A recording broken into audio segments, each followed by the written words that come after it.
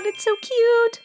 Starting in Alaska, where a group of bear cubs were seen waiting for mom in a tree, sockeye salmon are arriving in great numbers this year, and local bears are following suit. Over to Maine, where fishermen managed to free this baby harbor seal from a net. The tiny pup likely used the floating structure as a resting stop and learned a dangerous lesson in the process.